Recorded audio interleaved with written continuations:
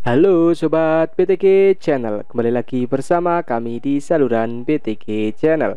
Kali ini kami akan menginformasikan siaran langsung dan prediksi Piala Dunia Qatar 2022 Kali ini akan ada pertandingan menarik antara Belgia versus Maroko.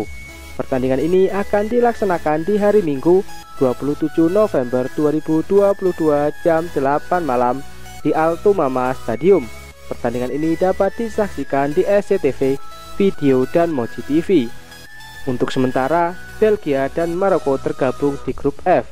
Belgia memimpin dengan raihan 3 poin, sedangkan Kroasia dan Maroko sama-sama mengoleksi satu poin.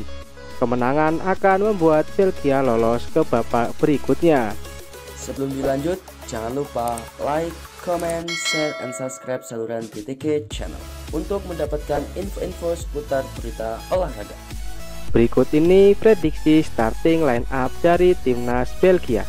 Belgia akan menggunakan formasi 3-4-2-1.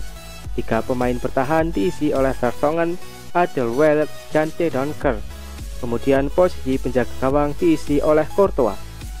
Namun pada pertandingan ini, striker akan kembali diisi oleh Batshuayi karena Romelu Lukaku kemungkinan akan absen pada pertandingan ini.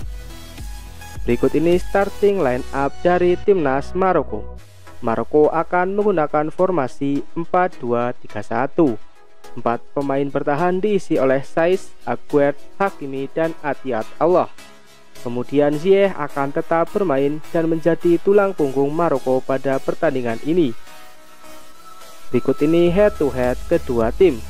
Belgia dan Maroko sudah bertemu dua kali dan Belgia mendapatkan kemenangan satu kali, Maroko menang satu kali. Berikut ini lima pertandingan terakhir dari Belgia. Dari lima pertandingan yang sudah dilakoni, Belgia memenangkan tiga pertandingan dan kalah dua kali. Pada pertandingan terakhir, Belgia berhasil mengalahkan Kanada dengan skor 1-0. Berikut ini 5 pertandingan terakhir dari Maroko. Dari 5 pertandingan yang sudah dilakoni, Maroko menang sebanyak tiga kali dan imbang dua kali. Di pertandingan terakhir Maroko bermain imbang 0-0 versus Kroasia. Berikut ini prediksi menurut kami. Belgia akan keluar sebagai pemenang dengan skor 1-0. Peluang Belgia memenangkan pertandingan sebesar 60%, imbang 30%, dan kalah 10%. Bagaimana dengan prediksimu? Tulis di kolom komentar. Terima kasih sudah menyaksikan. Jangan lupa like, komen, dan subscribe saluran ini agar tidak ketinggalan info-info menarik seputar dunia olahraga. Sampai bertemu di update-update berikutnya.